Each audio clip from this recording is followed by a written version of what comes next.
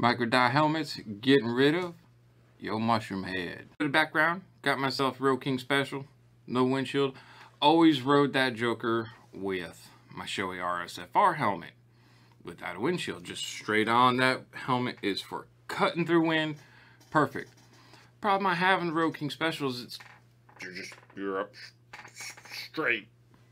So this whole chunky butt right here, chunky front, acts like a parasail. So I did what every other American would do. Bought myself a Memphis Shades Road Warrior fairing. Unfortunately, that fairing does not work well with Shoei RFSR. RF, RF, RS? Helmet. Mm-mm. The whip coming off the top of that windshield on that thing is like that at 60 miles an hour and up. No side to side, none of that. Just straight beating the crap out of my dome. Six foot two. Long story short, start looking for low profile helmets. Start looking for half helmets. In Florida, there is no helmet law, but I still want something to be protected if I get rear-ended at a red light. Gentlemen, it's just, say what you want to say about full face, half helmet, whatever. That's not what the story is about here. This story about here, no. What this story here is about is the micro dot helmets. Oh yeah. So, found that there was an actual helmet shop in near me. Went down, tried on a bunch of half helmets that stated they are the slimmest DOT half helmets on the market. Boy, were they wrong. Mushroom, oh my god. Daytona Helmets is one of the companies that they got the thinnest, slimmest, blindest helmet. I put that thing on, man. it was kind of like, look, I was looking down while I was peeing in the urinal. I look like a straight duck head. Mm-mm-mm. Tried a bunch of other no-name brands over there, and every single one that I put on that was DOT rated literally stuck out this far. It was mushroom tip. Mm-mm. Did a bunch of research, come across this company called Micro Dot Helmets. Don't know much about the company other than when they say they have the slimmest, linest helmet, they ain't lying. And here it is. This is the Microdot Twister 2.0. It's got a brim. It's reversible where they've set up the straps. It's in the middle. You get the Twister 2.0 has the DOT sticker in the back if your state requires it. My state doesn't require it doesn't matter to me. I kind of wish it was just blacked out, but whatever. Twister 2.0 for oval domes. If you got a round dome, it's the blister 1.0, 2.0, or 360, whichever one you want. If you don't like this, they have the blister. And even if you are an oval, you can still get it. You'll probably have to size up and you'll have pressure points in the front and the back.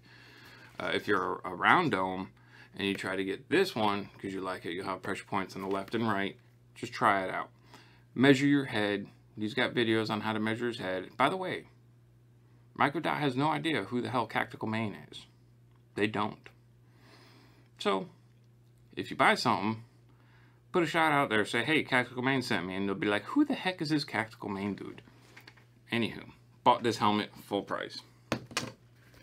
I wear it this way.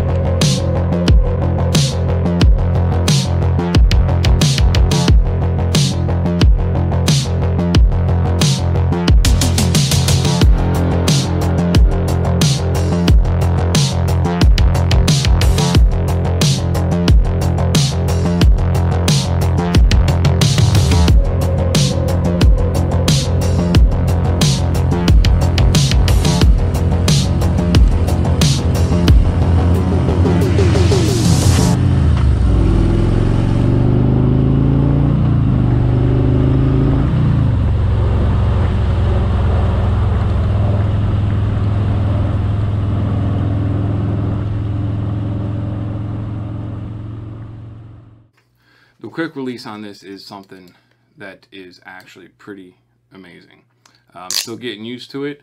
Still trying to find the, the little the tab to pull it up, but eh, you know, I got it. It's not rocket science. All I have to say is if you're looking for a true DOT half helmet and you don't want to look like a daggone mushroom, give Microdot a try. Again, they have no idea who the heck Tactical Main is, but if enough of you guys out there riding, right in, in there, that Tactical Main sent you, then he, he, well, he's definitely gonna be like, who the heck is Tactical Main? What is a Tactical Main? Hell, I don't even know what a Tactical Main is, other than an American 11 song bitch. Gentlemen's is extremely comfortable. Sizing is dead ass on. Again, know your head shape. If it's an oval or if it's around some great measure.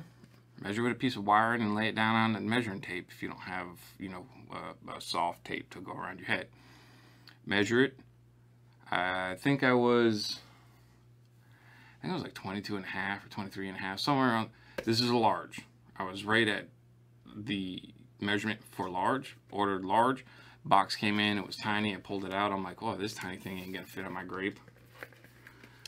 I snuck her on and she fit perfect. All right, gentlemen, that's it. Microdot, if you are looking for a no mushroom head DOT certified helmet, half helmet, here you go. They got the Twister 2.0, the Twister 1.0, the Twister 360, the Blister, the Blister 2.0, Blister 360. Thank you for stopping. Thank you for stopping by Tactical Main. If you want to support the channel, click on the affiliate links in the description down below. Uh, helps me out. Helps me get more. Um, doesn't help with pow pow pew pews anymore with the price that that's going. Uh, but you never know. Might help with some motorcycle gear. Might bring some motorcycle videos if y'all are interested. That's to my subscribers. I will see you in the next video, dudes.